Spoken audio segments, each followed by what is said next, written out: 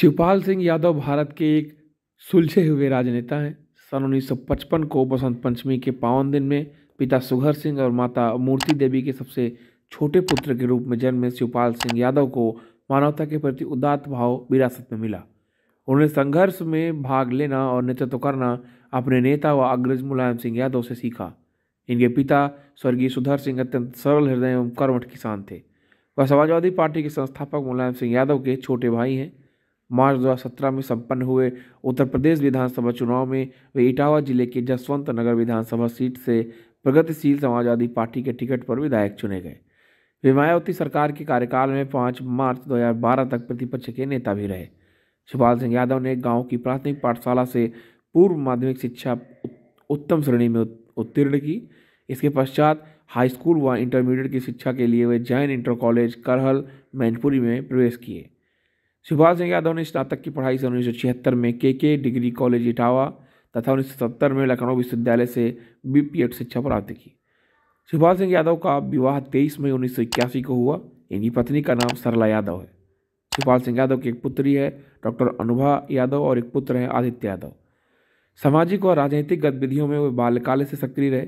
क्षेत्र में घूम घूम कर मरीजों को अस्पताल पहुंचाना, थाना कचहरी में गरीबों को न्याय दिलाने के लिए प्रयास करना व सोशलिस्ट पार्टी के कार्यक्रमों में भाग लेना उनका प्रिय काम था। वे नेताजी के चुनाव में पर्चे बांटने से लेकर बूथ समन्वय तक ज़िम्मेदारी उठाते रहे। उन्नीस सौ अट्ठासी से उन्नीस सौ इक्यानवे और पुनः दो तीन के पहले उन्नीस सौ तिरानवे में जिला सहकारी बैंक इटावा के अध्यक्ष चुने गए। उन्नीस सौ पंचानवे से लेकर उन्नीस सौ छियानवे तक इटावा के जिला पंचायत अध्यक्ष भी रहे। इसी बीच उन्नीस सौ चौरानवे से उन्नीस के अंतराल में उत्तर प्रदेश सहकारी ग्राम विकास बैंक के भी अध्यक्ष का दायित्व तो निभाया। तेरहवीं विधानसभा में वे जसवंत नगर से विधानसभा का चुनाव लड़े और ऐतिहासिक मतों से जीते। इसी वर्ष वे समाजवादी पार्टी के प्रदेश महासचिव बनाए गए। उन्होंने संगठन को मज़बूत करने के लिए अनि मेहनत की। फिर उत्तर प्रदेश को कदमों से नाप दिया। एक नवंबर 2007 को मेरठ अधिवेशन में शिवपाल को कारवाह का अध्यक्ष बनाया गया। शिवपाल सिंह ने सपा को और अधिक प्रखर बनाया। नेताजी और जनेश्वर मिश्र के मार्गदर्शन और उनकी अगुवाई में उत्तर प्रदेश में समाजवादी पार्टी सबसे बड़ी पार्टी के रूप में स्थापित हुई।